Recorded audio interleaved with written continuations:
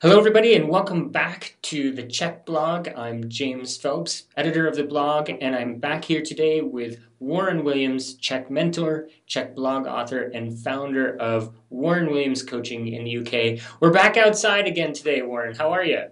Yeah, I'm good. And as you see, this time it's a lot brighter. Yeah. So, um, yeah, happy to be outside, back in, in nature and um, appreciating the gift that we have of Mother Nature shining its rays of energy on us. Yeah, I'm jealous. I need to get outside too. Well, you're in SoCal, so I'm not even sure if you are actually in SoCal. I know you're in California, and I know it's very warm out there anyway. So. Actually, I'm up in Seattle today, but it's it's nice oh, and okay. it's generally nice weather in Seattle here too. We share that affinity for rain in our our different parts of the okay. world, so okay. I can uh, I, I definitely get the gift of sun when when you have yes. it. So yeah, when you miss it. Yes. So today, uh, I understand we're going to talk about the power of thought and how yeah. we can use it to change our reality. Yeah, definitely.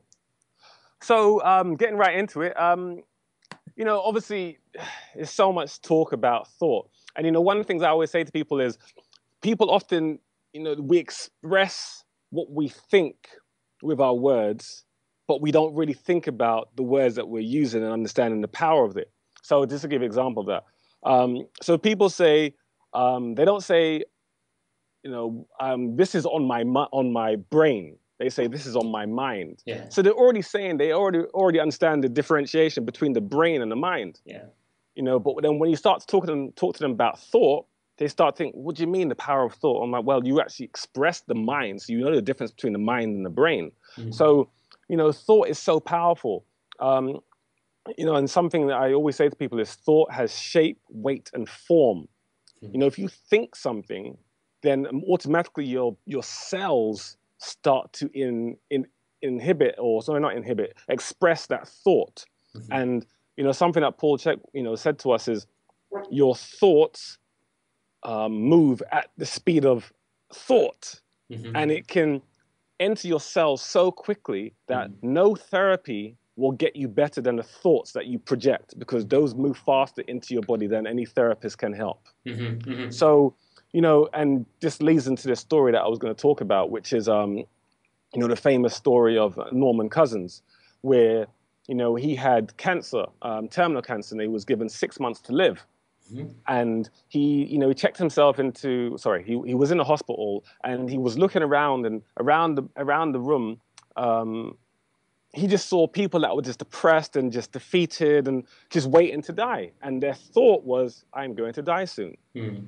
And they initially get this thought because they're told by the doctor that you only have X amount of time to live. Now, studies have shown that when people are told by a doctor you have X amount of time to live, they typically die around the time the doctor told them because yeah. they think that that's what's going to happen. Yeah. So their thought personifies the reality that they think. Mm-hmm. Mm-hmm. mm-hmm. So he was in the hospital and he said to himself, What am I doing here? And um, he checked himself out of the hospital and went to a hotel and this was back in the late 70s, I think. Um, so he asked one of his friends to get him, I think it only had Betamax back then. And he said, right, just get me all the comedies you can find anywhere around and just bring them to me. Mm-hmm. And he just sat in his bed and he was just watching comedies for the next three months, mm-hmm. every day, all day, every day. Yeah. And he beat cancer. Wow. Through thought and through laughter. And because he's quite, he was a broadcaster as well for about 20 years. And um, he said he wanted to try to understand how this happened. And I mean, you know, total remission. Mm-hmm. And um, so he, he basically found that um, upon research that there's two um, neurochemical reactions that happen in the body, which are interleukin and interferons, which are naturally producing, um, and they kill cancer. They mm-hmm. actually kill the cancer cells, and they're produced through laughter. Mm-hmm.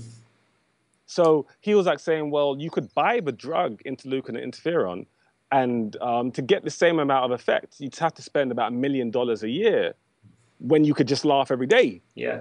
Yeah. And so he said, okay, so I changed my thought through laughter, and that destroyed the cancer cells mm-hmm. because that's what it does. And you know, he, he went into remission. Mm-hmm. So that just shows you the power of thought. And you know, studies have also shown that people that are in hospital that focus on being sick don't heal anywhere near as fast as people that focus on getting well. Yeah. So just the association, and this goes back to the last thing we spoke about with stress and the labels, just the association of the thought changes the reality because thought manifests in the cells. So once we understand this, then we understand that we can change our reality with how we think of something. So when sometimes people meet someone or they know someone and they say, every time that I see that person, he makes me sick to my stomach, mm. you've already established a specific thought with a, an attachment to an event. Mm-hmm. And as soon as that event or person comes to you, you make yourself sick to your, sick to your stomach because you think that's what's going to happen. Yeah.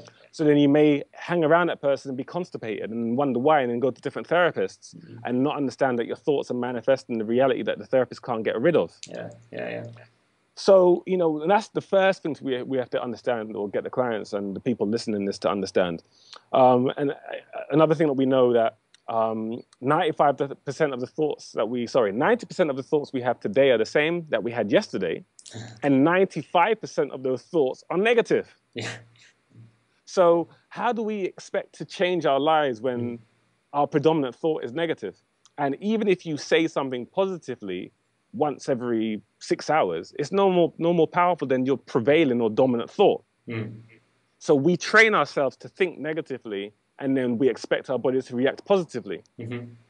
So that's kind of labeling, you know, understanding of the power of thought. Um, so how do we change that? So there's something called the Grand Canyon effect. So the Grand Canyon yeah. effect states, uh, you, I know you know this. Yeah, so um, yeah, so if you stand over the Grand Canyon and you shout, I want to be well, what comes back is I want to, to be, be well. well. Yeah. Rather than, and what comes back is what, and some of your listeners are probably like, well, that's okay. No, you're wanting. right what comes back is wanting, or I want to be successful. What comes back mm-hmm. is you want to be successful, okay, but not, you're not actually successful. Yeah. So if you stand over the Grand Canyon saying, "I am healthy," yeah. one of Paul's you know favorite sayings is, um, "I am healthy, I'm happy, I'm whole." Yeah. So if you stand over the Grand Canyon, and you shout that. What comes back to you is, is the exact same thing. Yeah.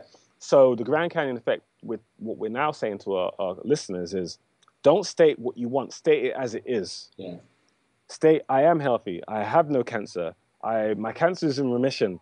Um, I have great digestion. I have great energy. I'm structurally aligned. I have no pain. Mm-hmm. Then then you're.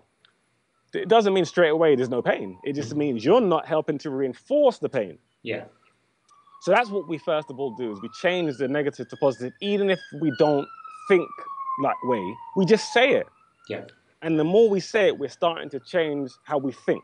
Yeah you know, the more positives we do, we outweigh the negatives. Yeah. And that's, you know, and it's really that simple. Um, I'm just trying to think, um, you know, so we spend so much time focusing on what we can't do versus mm-hmm. what we can do.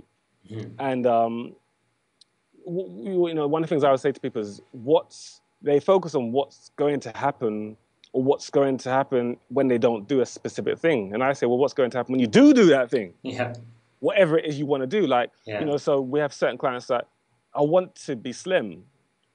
No, don't want to be slim. Be slim by saying, I'm so grateful for the abundance of energy I have. I'm so grateful that I love my body. I'm so grateful. Let the mind latch onto that, and then your body will start to try to make that happen. Mm-hmm.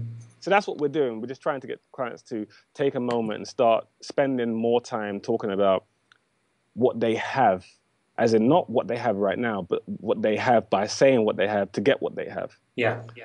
So I know that sounds a bit complex, again, but um, so let's give you an example of that. Yeah. So let's say you have back pain and um, you want to get out of that back pain, but right now your reality is you actually have back pain right at this moment.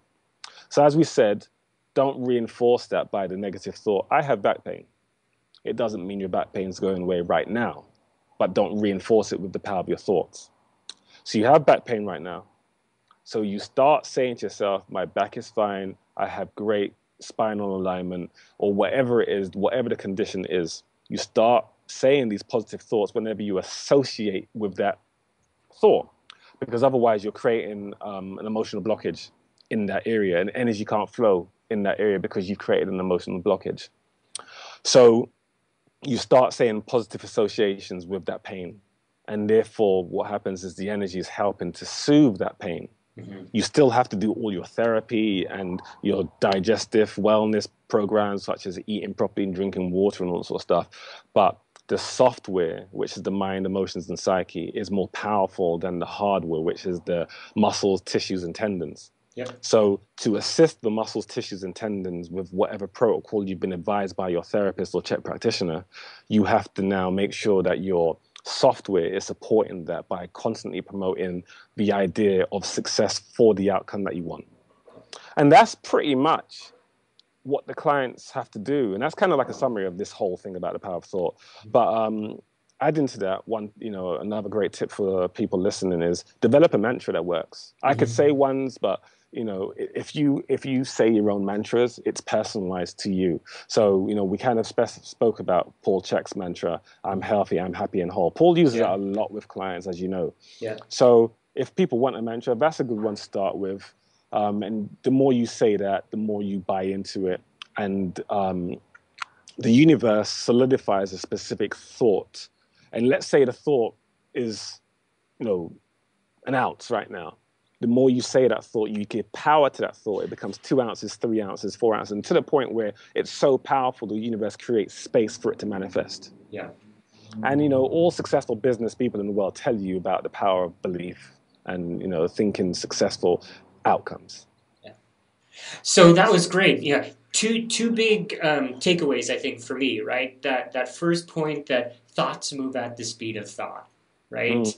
That is amazing, and that story of Norman Cousins was just um, yeah. brilliant, and and that idea that um, right uh, because thoughts move at the the speed of thought, the best and first thing you can do is uh, you know change your thoughts, be positive.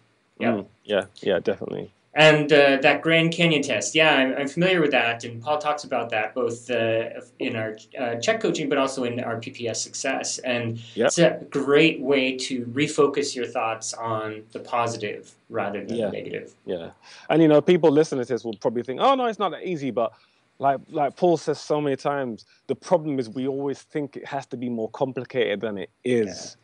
Yeah. And I'll finish with this one thing that Bruce Lee said. Um, I love this. And Bruce Lee had a had a degree in philosophy, and um, he said when he started to learn martial arts, he thought that a punch was just a punch and a kick was just a kick. As he started to master the aspects of martial arts, he realized a punch was more than a punch and a kick was more than a kick. Mm-hmm. But once he totally mastered the the aspect of martial arts, he mm-hmm. realized the punch was just a punch. it was pure That's simplicity. Great. That's great. So this stuff is simple, but it works. Great. Well, thanks, Warren. I appreciate it. And uh, let's do it again next month. Yep, no worries. All right. Take care. Bye, Warren.